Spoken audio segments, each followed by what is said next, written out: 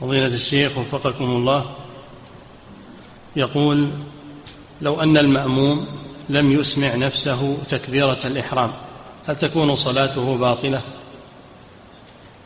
اللي ما يسمع نفسه معناه ما كبر معناه أنه ما كبر فلا تنعقد صلاته نعم